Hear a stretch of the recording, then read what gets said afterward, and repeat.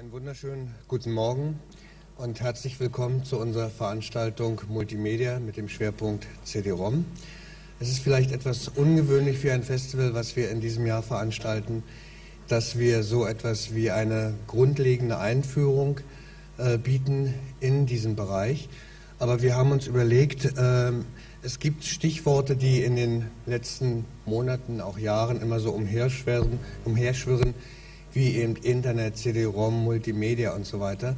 Und wenn man mal nachfragt äh, bei Leuten, die diese Worte ständig im Mund führen, was weißt du eigentlich darüber? Erzähl mir mal ein bisschen, dann immer, äh, dann kommt also sehr Schwammiges.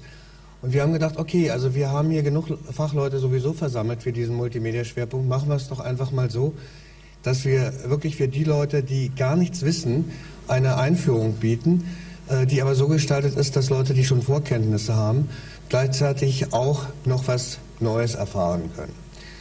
Und aus diesem Grund haben wir also heute Vormittag und morgen Vormittag, morgen unter dem Stichwort Internet, äh, diese Einführung.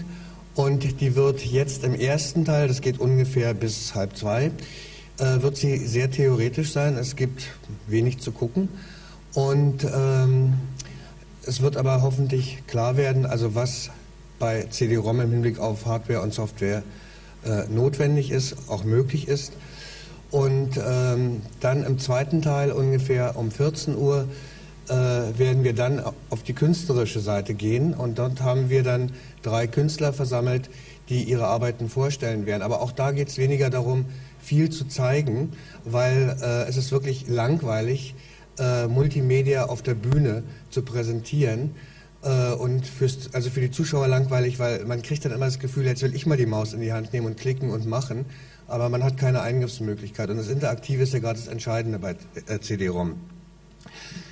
Äh, deswegen haben wir eben äh, nachher eine kurze künstlerische Präsentation. Der Schwerpunkt liegt auf dem Gespräch mit den Künstlern und die Projekte sind bis auf eine Ausnahme dann unten in der Ausstellung sozusagen für die Zuschauer zugänglich. Dort können sie selbst navigieren und selbst in die Tiefe gehen.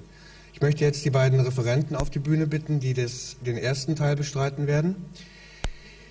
Das ist einmal, nee, ich warte.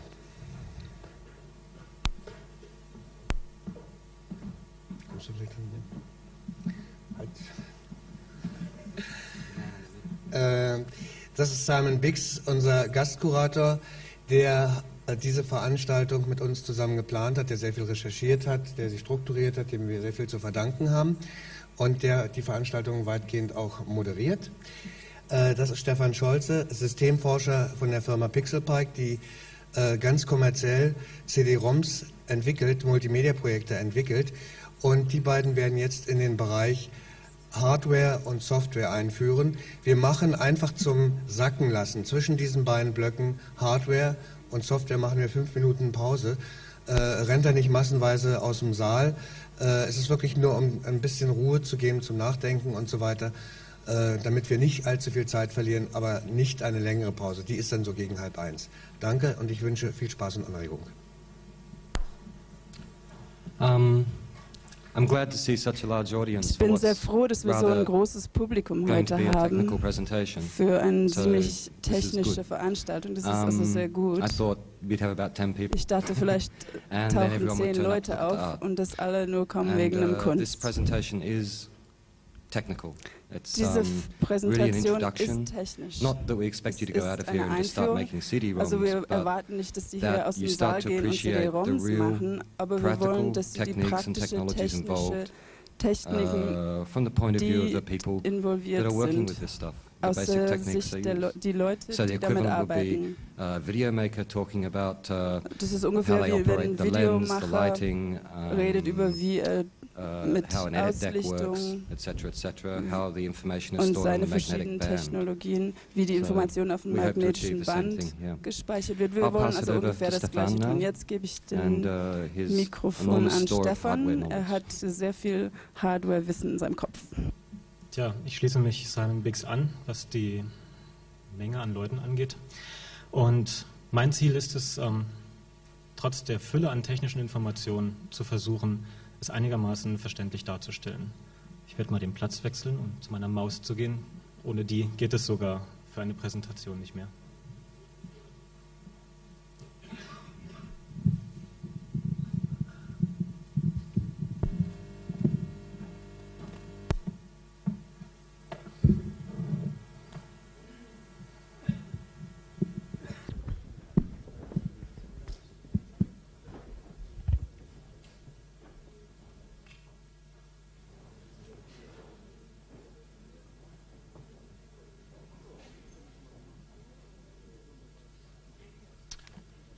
Um, I'd like to thank uh, Stefan for his presentation. Ich möchte mich bei Stefan be really bedanken excellent. für seine Präsentation. Ich fand um, sie ausgezeichnet. Just speaking to a couple of people in the break, ich habe mich in den letzten Minuten his, mit einigen uh, Leuten unterhalten und es ist ganz eindeutig, dass seine Erklärung der, der also Technik that, uh, sehr gut verstanden wurde und dass die Leute auch ganz and angeregt sind, dass sie really sich sehr freuen auf die Zukunft und das ist ja wunderbar. Really the button on the head. Glaube, das Videofest hat talking about this diesmal at this point in time.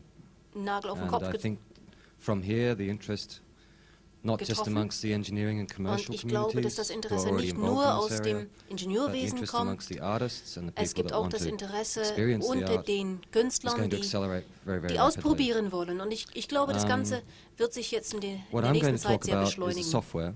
Ich will aber jetzt von der Software sprechen und ich habe ein ganz spezifisches Herangehen. Ich beschäftige mich mit den grundsätzlichen Systemen, die man braucht, damit das Ganze geschehen kann. Ich schaue mir also nicht Digitalisierungssoftware an oder Tonsoftware oder uh, Schnittsoftware. Das sind vielleicht interaktive Schnittstellen.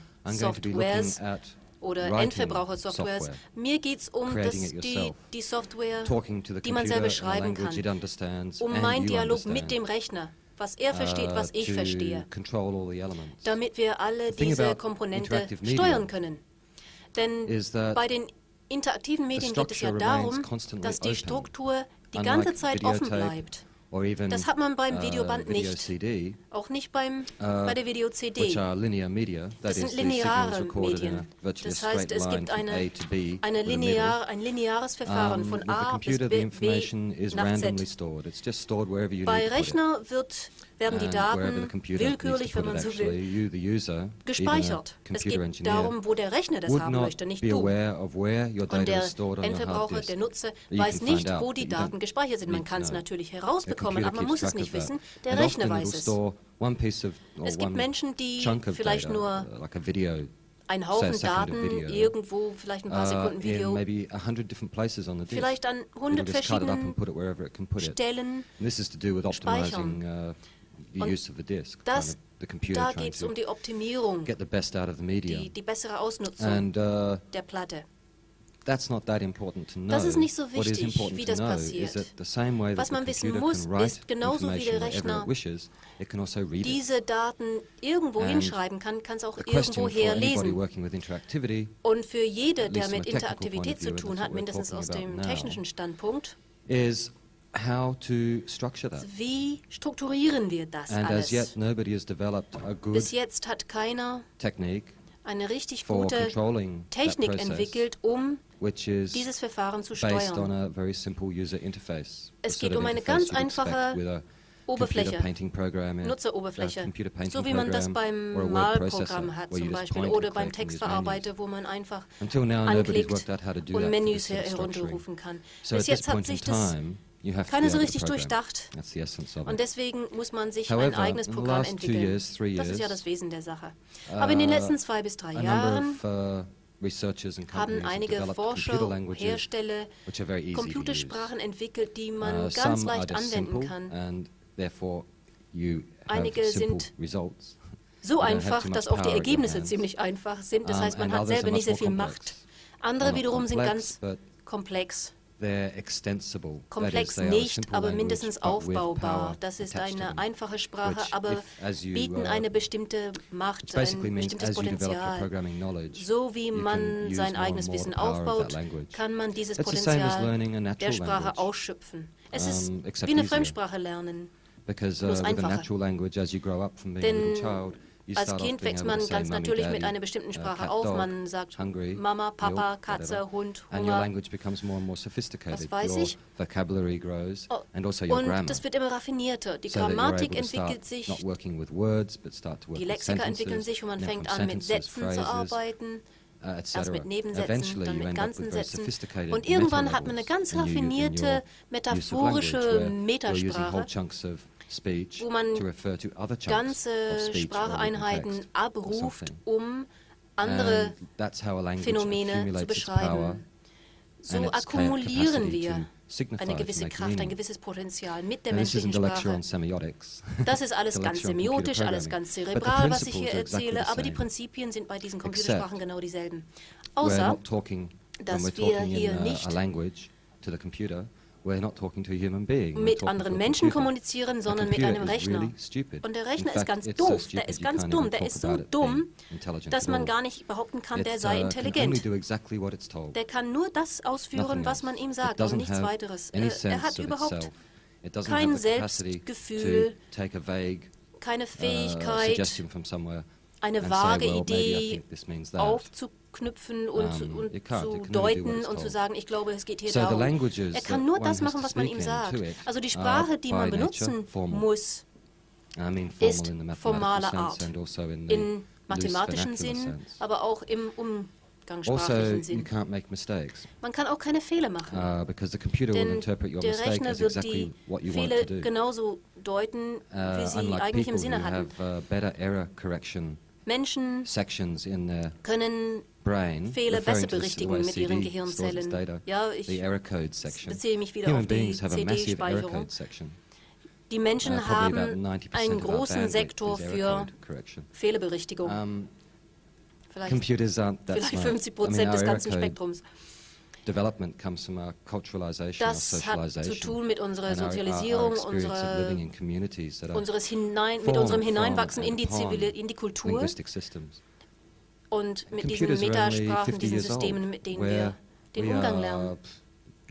Rechner sind ein paar Jahrzehnte alt, wir sind ja Millionen alt. Wir haben uh, sehr viel Zeit gehabt, um uns zu entwickeln. Und dieses sprachliches Potenzial des Rechners ist minimal. Aber birgt sehr viel Potenzial in sich. Durch diesen Grundsatz, durch dieses, diesen sprachbezogenen Grundsatz und diese ganz einfaches Alphabet. Es gibt nur zwei Ziffern, 0, 1. Und da liegt das ganze Potenzial. Uh, Sowohl für den Rechner selber, die, diese weiße uh, Kasten uh, also beim Mac, wie auch die Datenträger, die Festplatten, die CD-ROMs, die telefonischen Leitungen im Internet. Es ist egal, mit welchen Datenträger wir zu tun haben, die sind alle ähnlich. Die haben alle nur mit 0 und 1 zu tun. Und alle Rechner der Welt arbeiten auch nur mit 0 und 1. Das heißt, jeder Datenträger kann durch jeden anderen gelesen werden, wenn man bestimmte Konventionen, bestimmte Protokolle entwickelt. Und hier geht's los. Ich will mit dieser Einführung nicht so richtig viel weiterspinnen, denn ich möchte, dass wir zur Arbeit voranschreiten. Aber ich möchte diesen Grundsatz erstmal fest erläutern. Der Rechner ist vor allem eine sprachbezogene Maschine, die die Entwicklung dieser ganzen also Technologien erlaubt hat, ermöglicht hat, weil er zugänglich ist, weil er schnell reprogrammierbar ist, denn durch die ganze Beschleunigung, die unwahrscheinliche Beschleunigung der technischen Entwicklung, ich weiß nicht, wer das behauptet hat, bis jetzt habt ihr gar nichts gesehen, das uh, wird noch explodieren.